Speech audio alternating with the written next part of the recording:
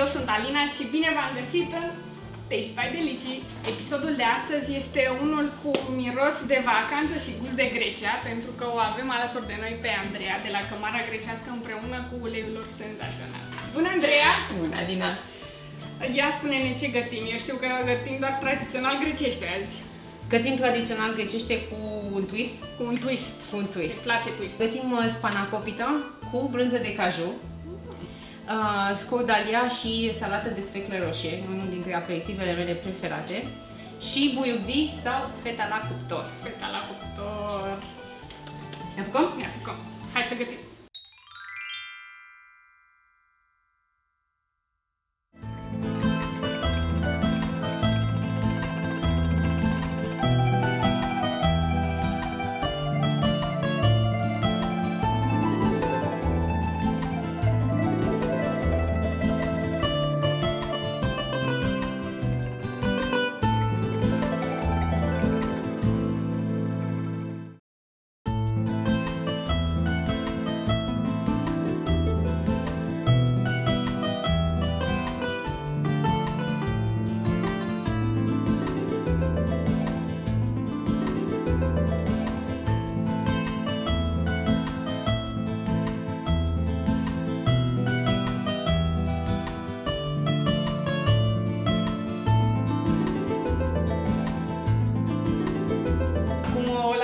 Andreea să preia conducerea în bucătărie. Ce pregătim? Preiau conducerea pentru că facem una dintre rețetele mele preferate. Cu mâna mea dreaptă, eu fără termomix mai rar gătesc. Facem um, brânzica de caju pe care o punem în umplutura de la spanakopita. Brânzica de caju se face foarte simplu. Avem aici caju hidratat, cam 2-4 ore. Dacă e bun și proaspăt, poate fi hidratat și mai puțin. Punem puțină sare și sucul de la o jumătate de lămâie. Aici avem spanacul deja sortat, cu mărar și pătrunjel, miroase într-un mare fel. Și bineînțeles apă. Cu cât punem mai puțin apă, cu atât iese mai brânză. Cu cât punem mai multă apă, cu atât iese mai smântână. Și deci noi acum facem o variantă de post. Da, Nu? facem o variantă de post. Și dacă nu Varianta facem... tradițională ar fi să punem aceeași cantitate, dar în loc de caju punem direct feta. Se poate face și cu tofu? N-am încercat cu tofu. Dacă încercați voi cu tofu să ne spuneți cum e. Da.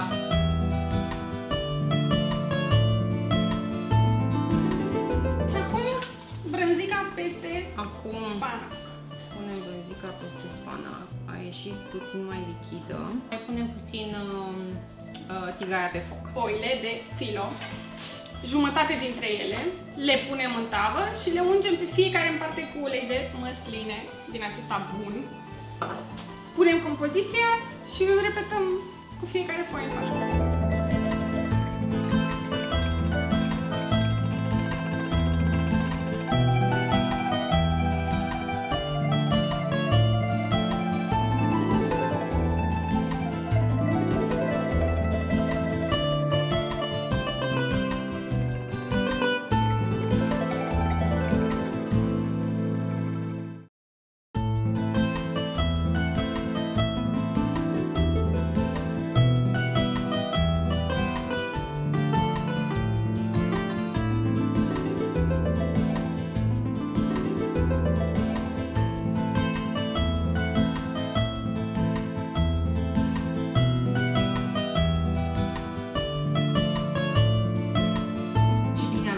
De ce ai tăiat deja foile?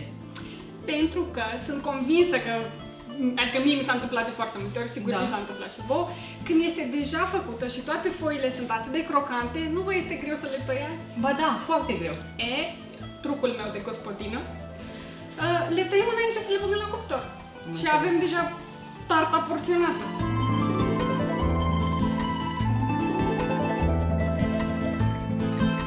Cât timp este la cuptor spanakopita, noi trecem la a doua rețetă. Cum, se- cum se zice? Scordalia. Scordalia? Scordalia. Scordalia. Uh, este o rețetă clasic grecească, sigur ai dat peste ea în meniurile tavernelor atunci când ai fost în vacanță.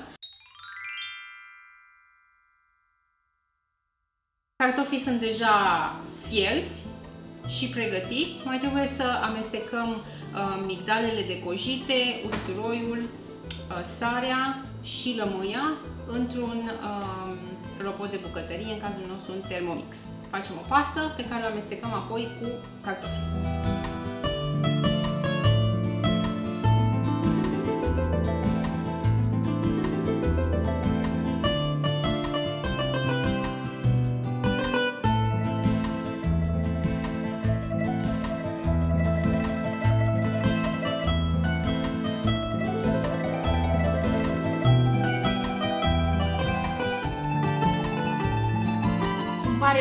Pare tare rău că nu ajunge mirosul până la voi.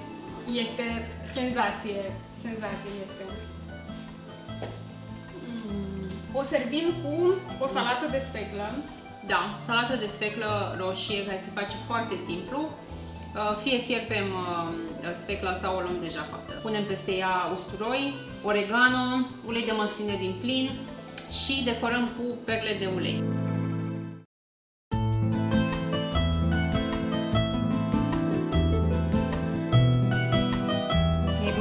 Scoate ușor. Ia să vedem. Iau. Pam! Ce spuneți? Încercați? Trebuie să încercați. În fiecare duminică, dacă sunteți în Grecia, sigur îi vedeți pe greși la terasă mâncând uh, astfel de plășințele și bând cafea. Mm, o cafea. Stăm la soare. Ce poate fi mai frumos? Care este a treia rețetă?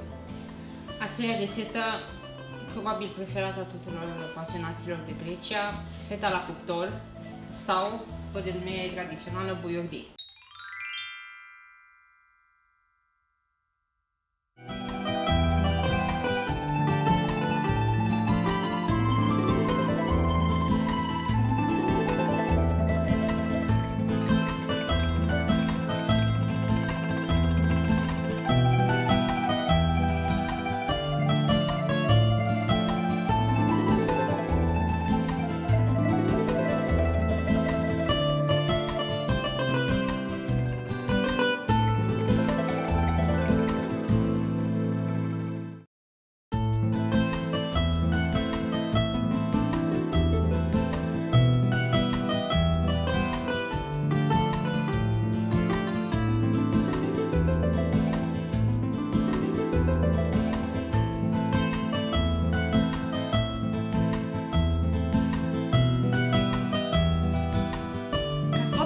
Feta la cuptor și deja am gătit cu acest minunat ulei de măsline, spune-ne povestea cămara grecească. Îți povestesc. Cămara grecească e o afacere de familie. Uh, în față o să ne vedeți tot timpul pe mine și pe soțul meu. Uh, însă suntem sfătuiți și îndrumați de nași, de ucheși, de bunici, de părinți, de toată lumea, toată lumea se implică în povestea asta. Livada noastră are 630 de copăcei. Se află în zona Sidero Castro, care e undeva în nordul Greciei, între Salonic și granița cu Bulgaria. Uh, și acolo avem noi grijă de pomișori, uh, facem totul uh, să, să, să putem să fim implicați în tot procesul de producere al uleiului, de la îngrijitul pomișorilor, placul uh, sumăsinelor, la dusul lor pentru presa la rece. Ne-am dorit ca românii să aibă acces la un produs autentic și premium, să știe de unde vine, știi cum ne ducem la piață la bătrânici și căutăm merele alea mici și zvârlite. Noi încă nu suntem uh, ca bătrânicile acelea, dar uh, uleiul nostru este, sigur, este curat. E un ulei certificat organic. Um, și bineînțeles că este, cum fiecare grec o să spună că uleiul e cel mai bun, așa spunem și noi, uleiul nostru e cel mai bun. Anul ăsta, mândria noastră sunt perlele de ulei sau caviarul. Sunt obținute printr-o metodă foarte specială, la rece. Practic aici este uleiul nostru, uh, cu diverse ingrediente naturale, în cazul de față chili, încapsulat în agar-agar la o temperatură suficient de mică cât să nu afecteze proprietățile. E un produs unic în Europa, suntem foarte mândri de el, o să fie în curând lansat și în România. E un produs gourmet, îl punem pe bruschete, pe pește, pe salate, oriunde ți se pare că uh, vrei să fie ceva extra și vrei să-ți pornească puțin uh, ulei pe cerul gurii. Astea sunt uh, produsele și de folosit. Și e și vegan, da, bineînțeles. Toate produsele uh, de pe cămara sunt uh, uh, produse nealterate, termic sau chimic. Și perlele nu fac uh, o excepție.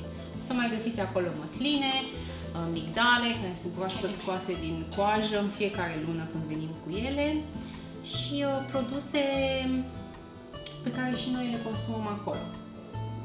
Așa că vă așteptăm pe cămaragrecească.ro să le descoperiți pe toate și să le încercați. Între timp, hai să vedem ce face feta noastră la cuptor.